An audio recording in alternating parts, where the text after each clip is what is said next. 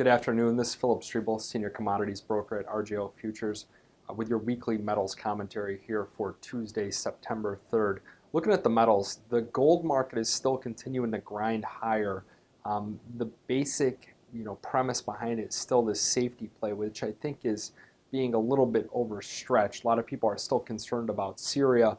We're seeing uh, basically Obama in the United States they are been ostracized. Our only ally right now is France, which France has the they, they tend to stick with the U.S. and then they'll pull out last minute, or they seem to be one foot in, one foot out on any of these uh, warlike developments that occur. So really, it's us by ourselves right now.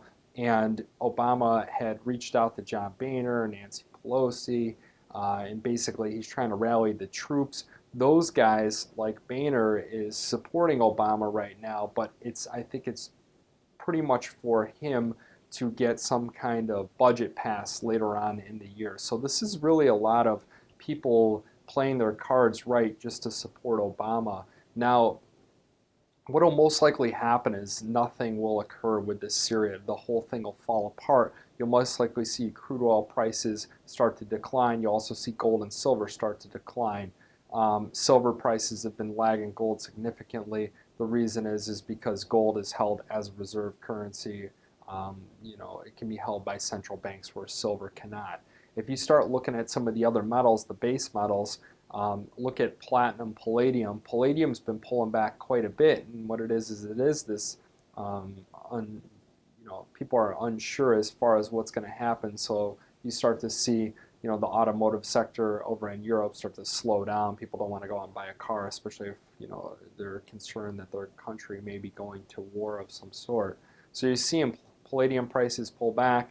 712 is a key level. If you look at the chart, it's like formed this like almost like an M starting.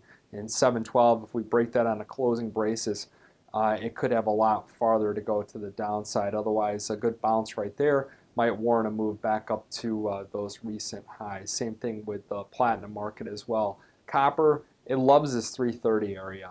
What it does is we trade up into 330, then um, some fundamental data, you know, out of China that they may be slowing down, or some stockpiles on the LME are reaching new highs, and then you see copper prices start to decline. So the good news is is that most of these commodities are trading based upon the actual fundamentals that are out there. They're looking at supply, they're looking at demand, um, and the prices are moving in you know conjunction to what those are. It's not like gold prices are you know selling off like they were before, even though the Fed was embarking on quantitative easing. You see a lot of things that like don't make sense.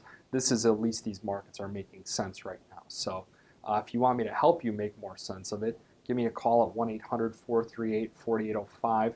Remember that futures and option trading does involve risk of loss and may not be suitable to all investors. Good luck and good trading.